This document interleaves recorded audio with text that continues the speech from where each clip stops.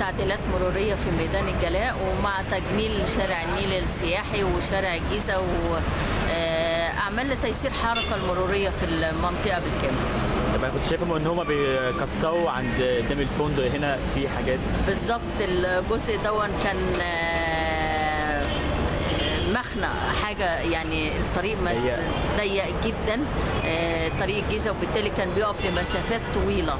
آه، ناحية الجيزة فالمرور مع المحافظة بننفذ آه، تعديلات مرورية بتوسعه الرصيف آه، والتصغير المثلثات اللي موجودة في ميدان الجلاء وفي المنطقة المحيطة لتيسير الحركة المرورية. طب خاصة بميدان الجلاء بيبقى في وقت الظهر الساعة 2 الظهر كده بيبقى بيشهد زحمة جدا. بالظبط كده. علشان كده الأعمال اللي بينفذها المرور مع المحافظة أعتقد إن هي بالانتهاء تنفيذ الأعمال دي هت- هتعمل حركة أو سيولة مرورية ملحوظة.